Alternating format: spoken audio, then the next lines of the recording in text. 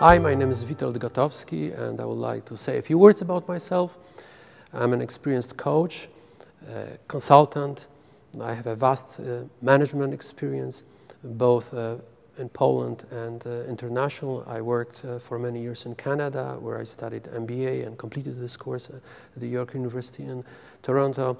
Uh, by education, I'm also a soci sociologist, so it's a good combination to deal with the coaching and uh, consulting uh, issues.